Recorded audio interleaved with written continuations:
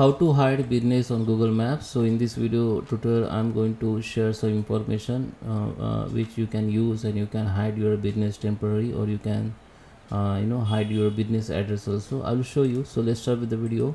Before we start i request you if you like this video hit the like button subscribe my channel and don't forget comments below. So let me open the browser first okay guys so here we are. This is my browser. First thing what you need to do you have to log in with you, your email id which is associated with your business account. Just log in with that email id now in search bar search for my business. Okay uh, if you when you search my business then your listening will be come up like this. So now you have to view this listening. Okay so in my case i have opened my own listening and this is a new interface of google my business you can see. Okay so there is an option where we, which you can use and you can hide your business address or you can temporarily close your business. Okay so what you you can do first you can go to the edit profile here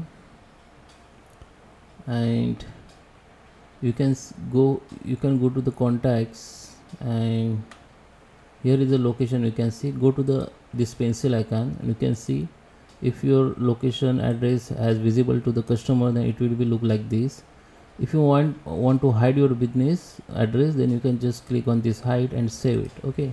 Then google will review and it will be take 10 minutes to hide your business okay? So now your customer or pers uh, other people not able to uh, check your location okay?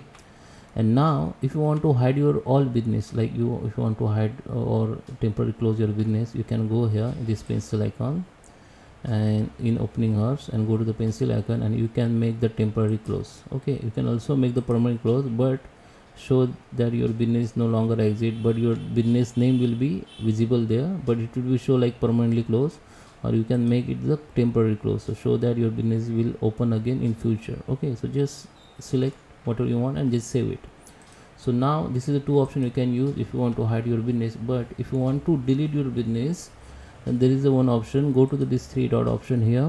Go to the business profile setting. And now we need to click on link account.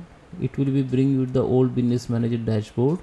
Now just go to the business. And here you can see your all business. In my case you can see i have lots of business listing here. This is only tutorial purpose.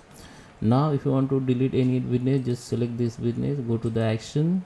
And from here also you can make temporary and permanent close. And but if you want to remove business just go to the remove but before remove you just read you have to just read this option. Okay some information still appear on google as go as per google once when you remove this.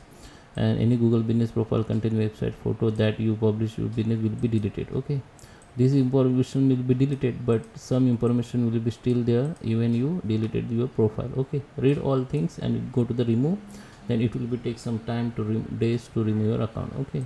So that is the process. I hope you like this video. Please subscribe. Thank you for watching